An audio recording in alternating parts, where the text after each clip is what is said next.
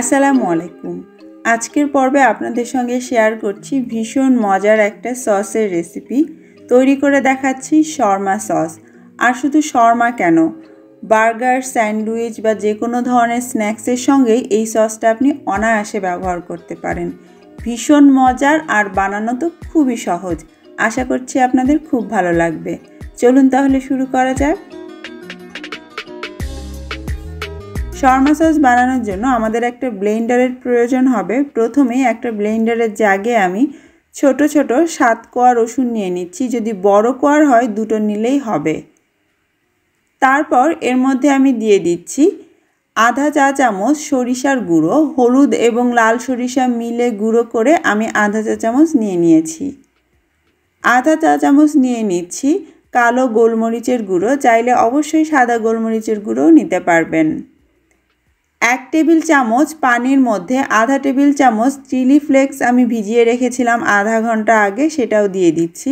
পানিটা কুসুম গরম ছিল, এতে করে এই চিলি ফ্লেক্সটা সহজেই নরম হয়ে গিয়েছে।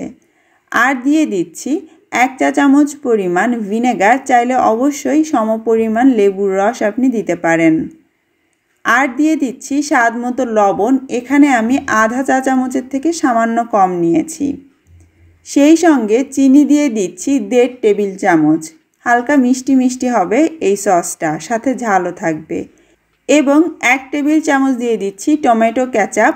এটা হট টমেটো ক্যাচাপ, একটু ঝাল ঝাল আছে এই ক্যাচাপটা। আপনার কাছে যদি নর্মাল ক্যাচাপ থাকে, তাহলে সাথে একটু চিলি সসও দিতে পারেন। এবং আধা টেবিল চামচ দিয়ে দিচ্ছি রোস্ট করে নেওয়া সাদা তিল। তারপর এতে ওয়ান ফোর্থ কাপ দিয়ে দিচ্ছি দুধ। আমি ফ্রিজে ঠান্ডা দুধটা ব্যবহার করছি, চাইলে রুম টেম্পারেচারে থাকা দুধও নিতে পারেন। তারপরে এতে যাবে তেল। আর তেলের পরিমাপটা হবে ঠিক যতখানি দুধ, তার ডাবল এই কাপের এক কাপ আমি তেল দিয়েছিলাম, তো এই কাপের দু কাপ আমাদের তেল নিতে হবে, অর্থাৎ আধা কাপ আর তেলটা অবশ্যই একবারে দেওয়া যাবে না, তিন থেকে চারবারে একটু একটু করে দিতে হবে। প্রথম ধাপে কিছুটা তেল দিয়ে আমি সব কিছু একসঙ্গে ব্লেন্ড করে নিচ্ছি। আর মাঝে মাঝে ব্লেন্ডারটা বন্ধ করে সাইড দিয়ে একটু একটু তেল দিয়ে দিতে হবে। আপনারা হয়তো দেখে বুঝতে পারছেন, এটা কিন্তু ঘন হতে শুরু করেছে অলরেডি আমি থামিয়ে আবারও কিছুটা তেল দিয়ে দিচ্ছি। আর এভাবে যতক্ষণ না আমি পুরোটা তেল দিয়ে দিচ্ছি, ততক্ষণ একসঙ্গে ব্লেন্ড করে নিব। আর এরই মাঝে ভেতরে থাকা চিলি ফ্লেক্স, রসুন সব কিছু কিন্তু একদম মিশে যাবে। আর কালারটাও আস্তে আস্তে বেশ সুন্দর হতে থাকবে।